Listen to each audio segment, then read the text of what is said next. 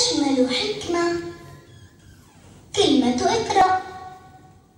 القراءة لها أجنحة جميلة تحملنا وتطير بنا.